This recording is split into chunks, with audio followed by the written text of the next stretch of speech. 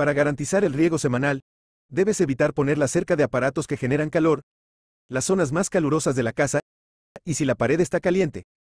que es común cuando hace mucho calor, hay que cambiar la planta de lugar, vertir el agua despacio. Cuando salgas en los meses de calor, dejar aunque sea un poco abierta la ventana, para no crear un horno, regar por las noches de preferencia,